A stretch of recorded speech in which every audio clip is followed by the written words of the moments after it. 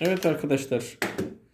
Bugünkü videomuzda e, herhangi bir bu şekilde e, oralet kabını nasıl sulu saksıya çevirdiğimizi gösteriyoruz. Burada Bauhaus'tan aldığım 54 milim veya 55 milim. Evet 54 milimlik bir punch'ımız var. Böyle bir şarjlı matkaptan kullanabilirsiniz.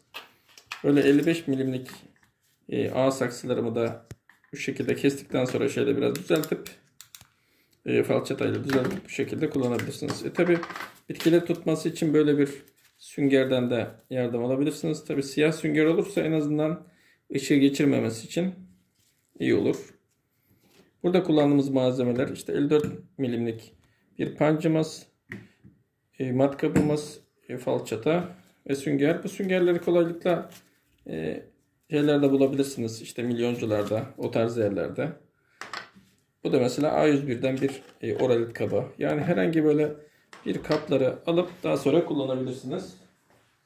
Daha sonra da bu şekilde bir çadır bandıyla bantlayıp ışık almasını engelleyip dışarısı dışı siyah içi beyaz bir bantla kaplayıp böylelikle köklerin yosunlaşmasını engelleyebilirsiniz. Teşekkür ederiz izlediğiniz için.